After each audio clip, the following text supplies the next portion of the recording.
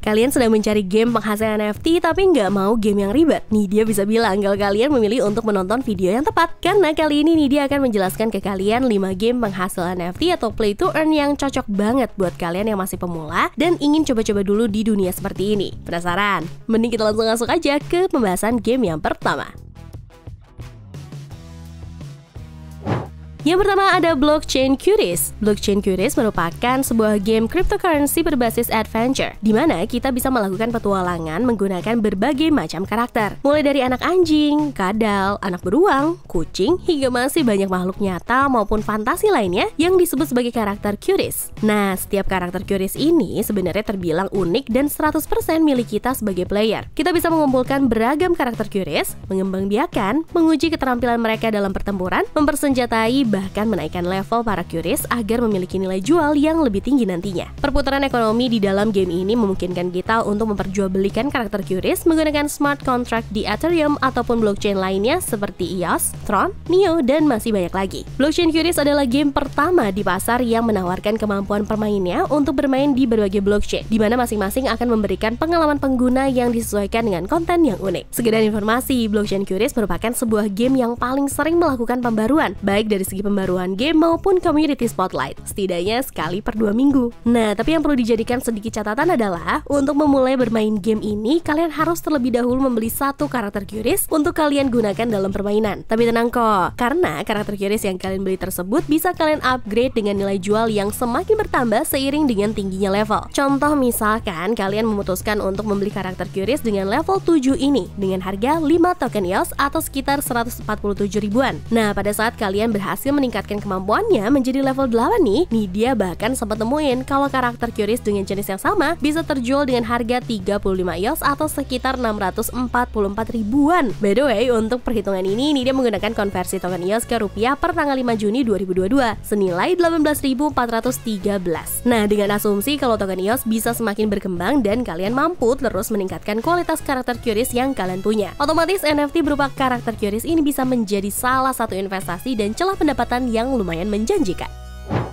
Selanjutnya ada game Elfin Kingdom. Elfin Kingdom merupakan game MMORPG yang terdiri dari berbagai aset NFT dan misi di dalamnya yang bisa menghasilkan keuntungan. Buat kalian yang familiar dengan gameplay Pokemon, bisa nih dia bilang kalau kalian gak bakal kesulitan untuk memainkan game ini. Melalui bisnis virtual yang mencakup pertanian, panen, perbankan, hingga fungsi pemrosesan pabrik, game ini terbilang mampu menggabungkan aplikasi terbaik dari sistem keuangan yang terdesentralisasi. Kita sebagai pemain dapat memilih peran sesuai dengan keinginan serta karakter masing-masing bisa langsung memulai petualangan untuk berburu karakter Alvin sebagai aset NFT berharga. Game ini sebenarnya bertipe free to play ya, di mana kita tinggal bikin aja akun wallet pribadi dan kita bisa langsung memainkan game ini setelah terlebih dahulu menangkap karakter Alvin pertama kita di rural area. Selain nantinya kita bisa menjual karakter Alvin yang kita dapatkan, di dalam game kita juga berkesempatan mendapatkan token King dan Alvin dengan menyelesaikan berbagai task dan misi di dalam game. Namun sayangnya, pas nih dia cek nilai konversi kedua token baik di website CoinMarket cap maupun koin gecko sayangnya masih belum bisa ditemukan ya guys. Untungnya dalam melakukan transaksi jual beli karakter NFT, kita bisa menggunakan token Binance Coin yang memiliki konversi per tanggal 5 Juni 2022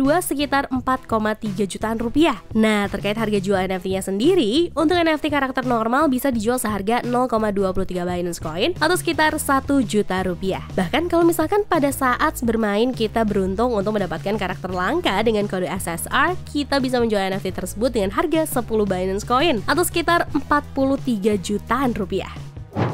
Lanjut lagi, game berikutnya ada Crypto Raiders. Crypto Raiders merupakan sebuah game RPG NFT berbasis utilitas yang mengambil inspirasi dari Z, Run, dan World of Warcraft. Di mana game ini memungkinkan kita sebagai pemain untuk mengirim karakter ke pertempuran untuk menjarah ruang bawah tanah, mengalahkan bos yang bertujuan untuk mendapatkan token. Akan tetapi, satu hal yang perlu diperhatikan di awal permainan adalah jika kita tidak mampu selamat dari pertempuran dengan musuh, maka kita tidak akan mendapatkan kesempatan untuk kembali menang. Hal tersebut disebabkan karena kematian dalam game ini bersifat permanen. Untuk mulai memainkan game ini, kita terlebih dahulu diharuskan untuk membeli karakter yang disebut Raider melalui market NFT atau OpenSea menggunakan Ethereum.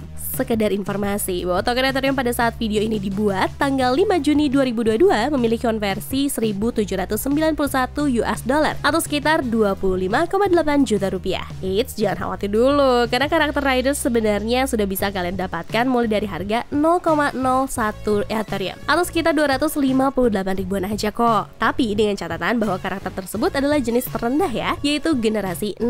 Di mana semakin tinggi generasi dan level karakter Raiders, maka hal tersebut akan mempengaruhi kemampuan dan kesempatan kita untuk menang. Terkait benefit yang bisa didapat, kita sebagai pemain berkesempatan mendapatkan token Raider Aurum apabila kita mampu menyelesaikan misi bawah tanah hingga misi pencarian. Sekedar informasi, token Raider Aurum ini sayangnya baru memiliki konversi senilai 69 rupiah aja nih. Tapi selain Aurum, kita juga berkesempatan mendapatkan token lainnya yaitu Crypto Raider yang sudah memiliki konversi senilai Rp5.272 per tanggal 5 Juni 2022. Selain kita berpeluang mendapatkan token dengan cara menyelesaikan berbagai misi, kita juga bisa meletakkan karakter NFT lain yaitu mobs di dalam game. Dan apabila nantinya karakter mobs ini mampu mengalahkan karakter Raider player lain, maka kita berpeluang mendapatkan perlengkapan mereka serta token tambahan. Jadi kalau misalkan kalian rajin sedikit aja nih dan mampu mengoleksi 20 token Crypto Raiders dalam sehari, maka kalian berkesempatan mendapatkan keuntungan sekitar 105.000 Rp440 per harinya. Atau jika kita kalikan 30 hari, maka pendapatan kalian dalam sebulan bisa mencapai 3,1 juta rupiah.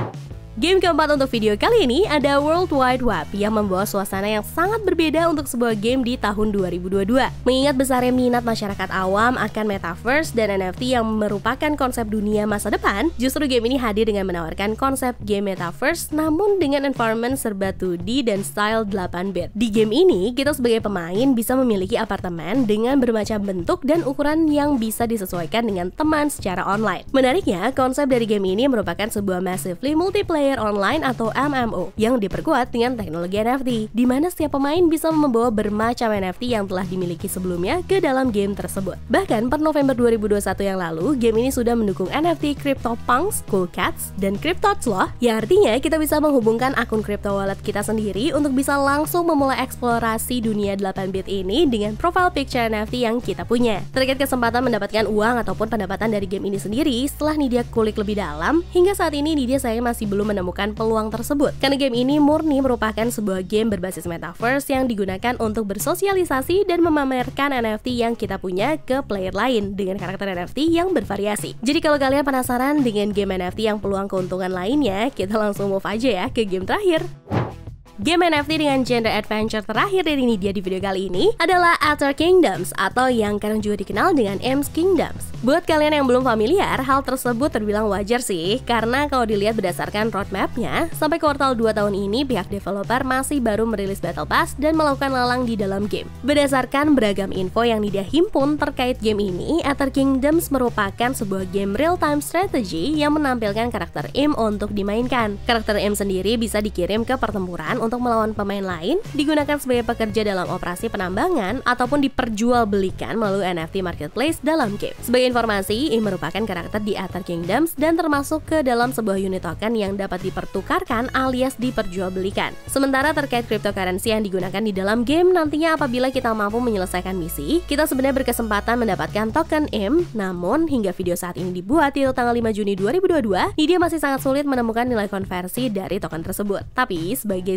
sedikit harapan, berdasarkan data yang dia dapat melalui website CoinMarketCap, nilai konversi token M ada di angka 0,00114111 US dollar atau sekitar 16 rupiah per token ya. Lalu dengan nilai konversi token yang sangat rendah, dari sisi mana peluang pendapatannya? Jujur, hingga saat ini Nidia juga masih belum yakin dengan peluang pendapatan dari game ini ya. Cuma nih, karena untuk memulai game ini kita diharuskan untuk membeli sebuah loot box berisi NFT karakter IM secara acak. Menurut Nidia, peluang dari game ini ada di sisi penjualan NFT dengan harga yang akan meningkat secara bertahap. Sekedar informasi, harga lootbox termurah yang bisa kalian beli melalui platform Reliable adalah seharga 14 token Polygon alias Matic atau sekitar 120 ribuan.